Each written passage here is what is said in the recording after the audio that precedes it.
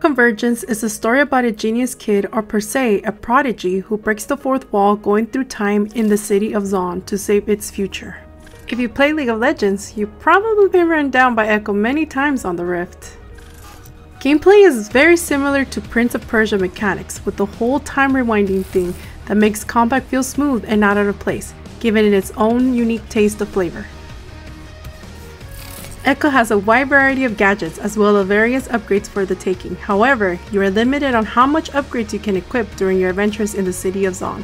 Collecting treasure chests and gathering parts is a staple you will see throughout the game. Navigating dangerous obstacles and executing precise jumps feels incredibly satisfying, striking a balance between combat and platforming. Another aspect that Convergence does well and enhances the experience of the game is its voice acting. The game features amazing voice actors who brings the characters to life, adding personality to the mix. The well-delivered lines and performances contribute to the overall engagement and makes the experience of Zaun better. It feels like I'm in Zaun itself. Overall, the adventure. Hey, Rungs!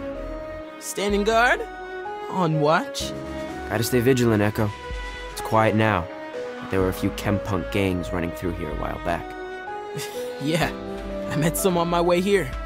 There's Clan Ferros guards from Piltover walking around now, too. Can't stand seeing them act all mighty and Zaun. You don't need to tell me twice. I've got no love for Pilties. Having Riot Forge release a game of Ekko, while I don't even have to play League of Legends to know about Ekko, is one of the best designs Riot has ever made. Thank you guys for checking out my review of Ekko Convergence. Till next time, bye!